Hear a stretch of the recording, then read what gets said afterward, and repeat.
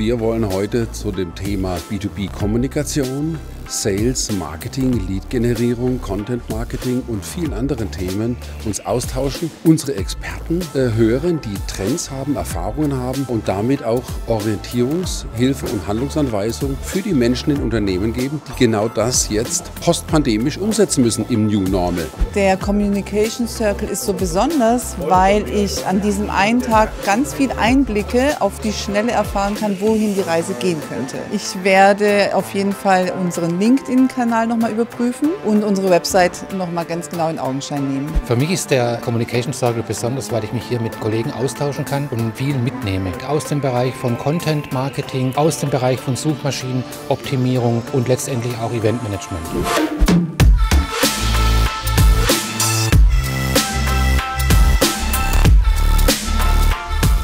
Mir hat es bisher sehr gut gefallen. Das Schöne war, dass man auch Kollegen wieder getroffen hat. Die Top-Themen sind für mich hier eindeutig das Thema Trends. Wie gehen wir jetzt mit der Zeit nach der Pandemie um? Wie wird sich jetzt die Kundenkommunikation verändern und äh, was sind jetzt wirklich die gängigen Trends?